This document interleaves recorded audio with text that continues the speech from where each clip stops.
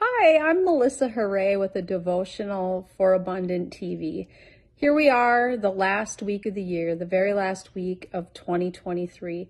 It's a really exciting time, I think, as we look upon the new year and a fresh start, turning the calendar page over to January. I'd like to encourage you to think about in this year as it draws to a close, think about approaching the Bible in a new way next year.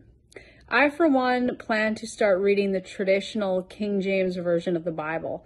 I've recently found out that a lot of the newer translations have been omitting words that really take the entire meaning out of a Bible passage.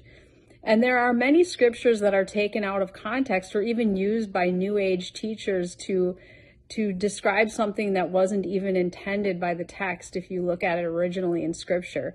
So I'd like to share one of those verses with you today. It's one of the most popular scriptures used by self-help gurus, new age teachers and the like to try to basically promote that we are governors of ourselves, that we can do anything through the power of our positive thinking, which is one of the, the messages that Americans just eat up like candy. You know, we want to believe that we have so much control and power over our lives and not submit to God's will for our lives. So that scripture is Proverbs 23 7, and it says, As a man thinketh, thinketh in his heart, so is he.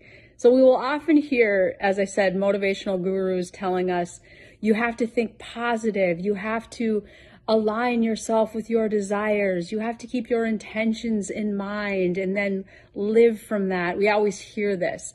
But when you really look at the fullness of the text, you look at the entire scripture, you see that that isn't what it means at all. Actually, the context has to do with understanding the heart of a miser or a stingy person. So it's actually telling you that if a person is acting like this, you know, it's saying, do not eat the bread of a miser, nor desire his delicacies, for as he thinks in his heart, so is he. So he basically is being a hypocrite. He says, go ahead, eat, drink, but really he doesn't mean it. His heart is not with you.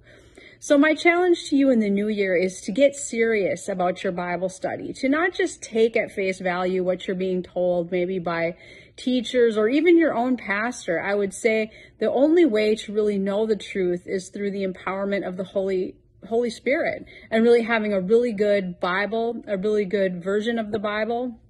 Like I said, for me, I'm going to be delving into the King James Bible this coming year and really digging into the original meaning of the text. So pray for discernment, pray for wisdom. These are some of the most powerful things that you can ask the Holy Spirit, who will lead you in all truth to illuminate the Bible and make it come to life for you. God bless you in 2023.